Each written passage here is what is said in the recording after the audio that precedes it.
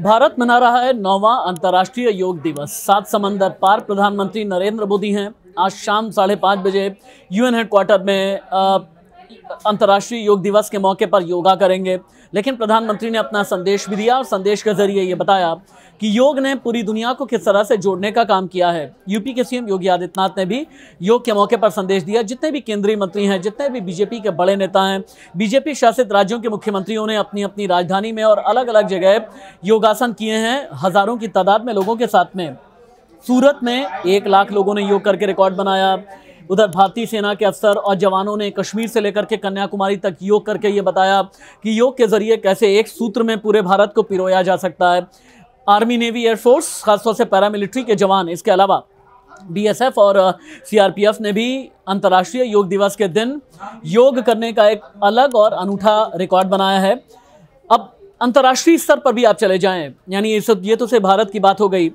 बांग्लादेश में चटगांव, मिस्र में सफगा इंडोनेशिया में जकार्ता, कीनिया में मुम्बासा मेडागास्कर में टोमासीना ओमान में मस्कट, श्रीलंका में कोलंबो, थाईलैंड में फुकेट और संयुक्त अरब अमीरात यानी यूएई में, दुबई में पोर्टकॉल में शिप्स पर योगा किया गया है।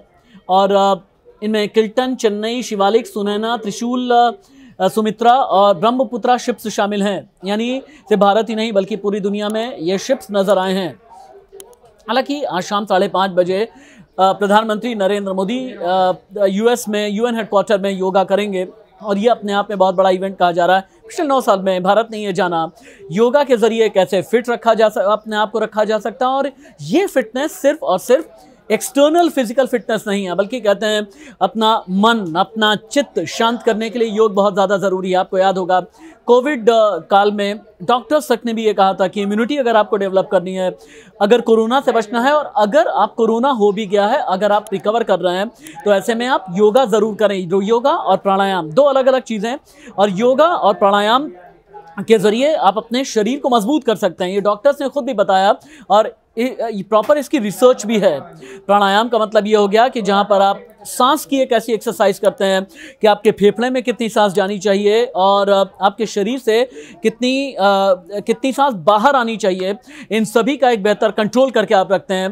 हालाँकि कई लोग योगा इंस्ट्रक्टर का भी सहारा लेते हैं लेकिन हाँ अंतर्राष्ट्रीय योग दिवस नौवें साल में ये बता रहा है कि भारत भारत के लिहाज से और पूरी दुनिया में अंतर्राष्ट्रीय योग दिवस के दिन एक संदेश भारत की तरफ़ से देने की कोशिश की जाती है।